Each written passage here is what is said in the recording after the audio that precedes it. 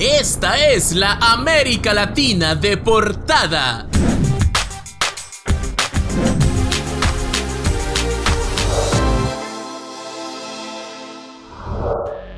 El presidente George W. Bush deportó alrededor de 2 millones de personas, Barack Obama casi 3 millones 200 mil y aunque aún no se conocen los números finales de Donald Trump, se reporta que son menores. Estados Unidos es una de las naciones más duras en cuanto a la migración, haciendo famosas mundialmente algunas de las jaulas donde ponen a los hijos de inmigrantes indocumentados. Es por ello que, gracias a datos oficiales entre 2015 y 2019 del Servicio de Control de Inmigración y Aduanas, te presentamos los 10 países latinoamericanos con más deportados desde Estados Unidos. Así que sin más, comencemos. Migratoriamente, Nicaragua es una excepción dentro de la región centroamericana en la que se ubica. La nación es incluso más pobre que Honduras, Guatemala y El Salvador, que representan la gran mayoría de los migrantes enviados a Estados Unidos, defendiéndose en gran medida de las bandas de narcotraficantes que aterrizan en esos países y enviando así pocos migrantes al norte. Cada año, casi 16.000 menores hondureños no acompañados son atrapados tratando de colarse en Estados Unidos en comparación con solo 194 nicaragüenses. Esto sirve para ilustrar por qué este país solo se ubica en la décima posición de esta lista en comparación con sus vecinos. Pero de lo que no ha podido escapar Nicaragua es de las políticas migratorias estadounidenses, conociéndose que en 2019 Donald Trump terminó un estatus especial otorgado a 5.300 inmigrantes nicaragüenses que les protegía de la deportación. En ese sentido, en los últimos cinco años han sido deportados desde Estados Unidos un total de 5.613 ciudadanos de Nicaragua.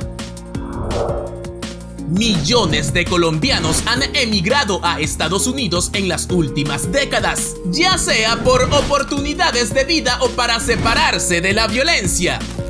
Los colombianos en este país son calificados como personas con un nivel académico mayor que el de otras comunidades, pero esto no ha evitado que se conviertan en la novena comunidad con más ciudadanos regresados forzosamente a su país de origen. En 2017 se deportó un 22% más de colombianos que en otros años, según lo reportado por autoridades de Colombia, pero se aclara que la mayoría de estos fueron aquellos que ingresaron ilegalmente o cometieron algún tipo de crimen dentro o fuera de los Estados Unidos.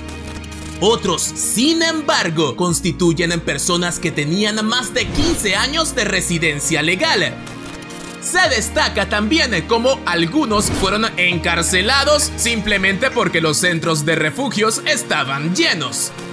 En general, entre 2015 y 2019, un total de 5.712 colombianos fueron deportados desde Estados Unidos. La deportación a Brasil de un hombre en 2019 que fue adoptado por ciudadanos estadounidenses cuando tenía 5 años y que vivió 30 años en el país sin naturalizarse, pero cumpliendo todas las leyes correspondientes, encendió las alarmas acerca del funcionamiento gubernamental en materia migratoria. Este caso, uno entre tantos de la diáspora sudamericana, se suma a la situación precaria que viven muchos brasileños en Estados Unidos. Recientemente, el gobierno de Jair Bolsonaro ha comenzado a facilitar a Estados Unidos la deportación de brasileños indocumentados, incluso aquellos que ya estén dentro de un avión a punto de despegar sin pasaportes válidos. De esa manera, desde 2015 han sido regresados a suelo brasileño un estimado de 6.713 ciudadanos. El número de ecuatorianos en los Estados Unidos se ha mantenido constante durante casi una década y hoy son el tercer grupo de latinoamericanos más grande en el área metropolitana de Nueva York, Nueva Jersey, detrás de los mexicanos y dominicanos y el noveno más grande a nivel nacional.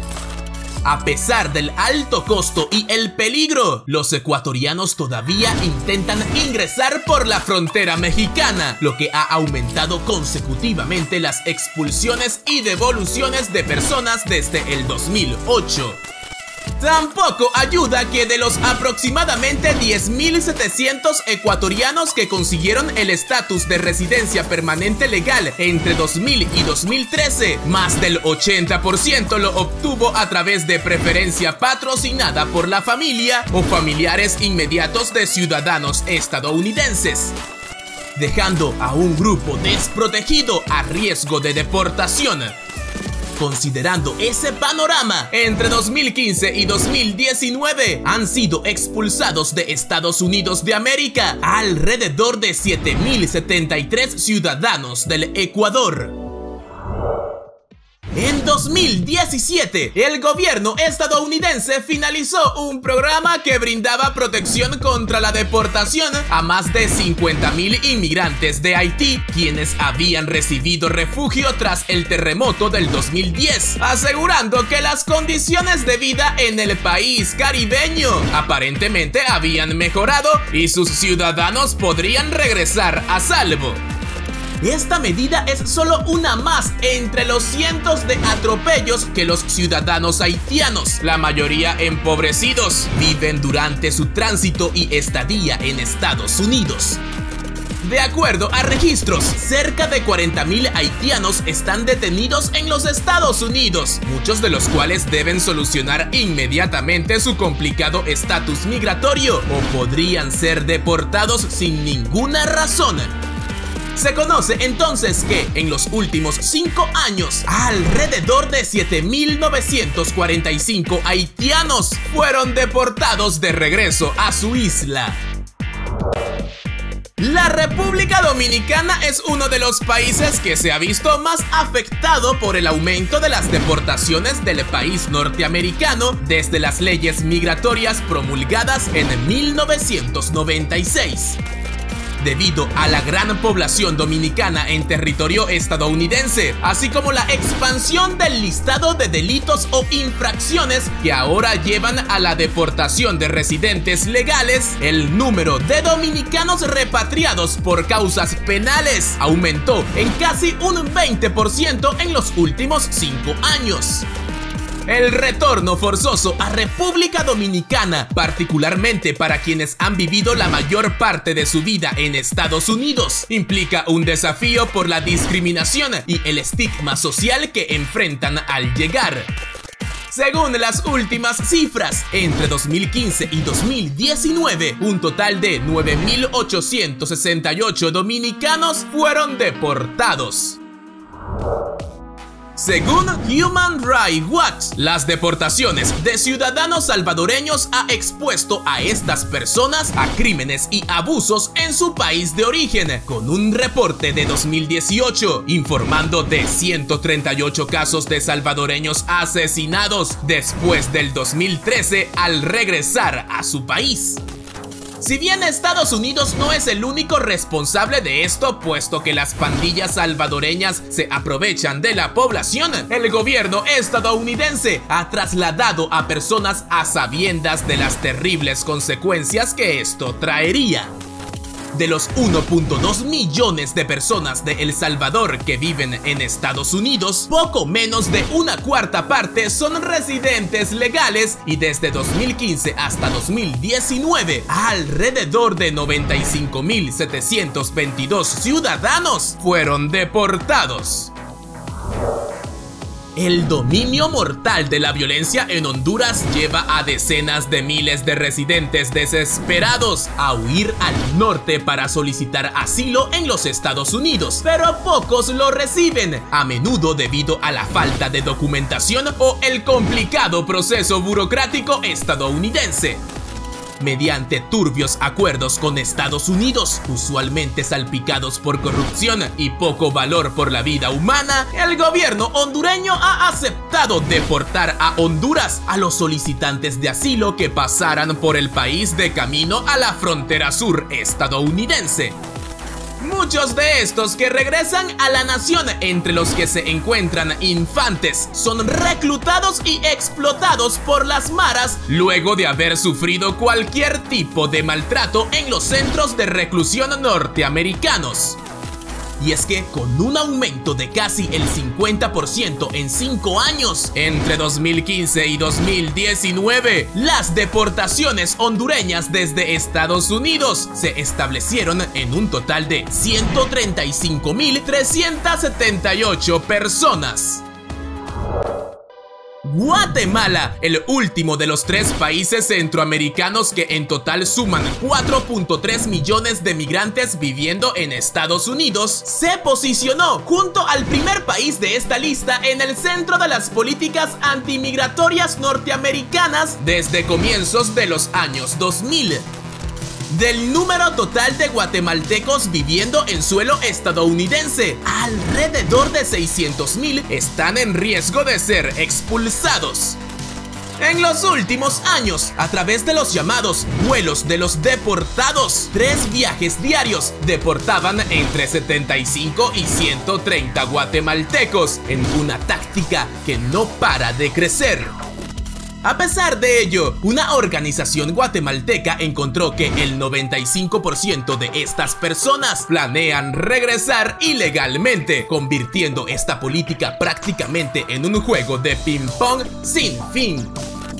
De esa manera, entre 2015 y 2019 se reporta que 206.068 guatemaltecos fueron expulsados de Estados Unidos.